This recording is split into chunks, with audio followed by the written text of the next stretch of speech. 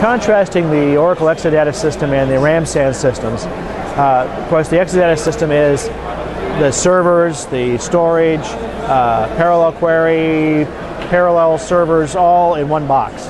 So it's a uh, one-stop solution from Oracle and the problem there is it's a one-stop solution from Oracle. Uh, you basically throw out your existing infrastructure and bring in the Exadata.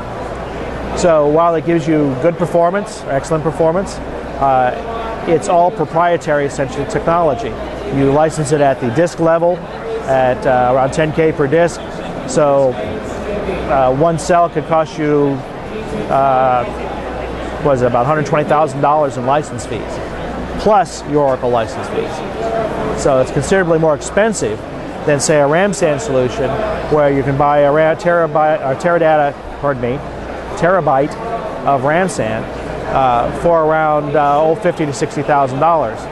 Now that sounds like a lot until you break it down to that terabyte will give you 500 to 600,000 IOPS. So you're provided much higher performance and it can be used anywhere. It doesn't have to be Oracle. We like you to use it with Oracle. You can use it with MySQL. You can use it with uh, a flat filer if you had that much I/O on a flat filer.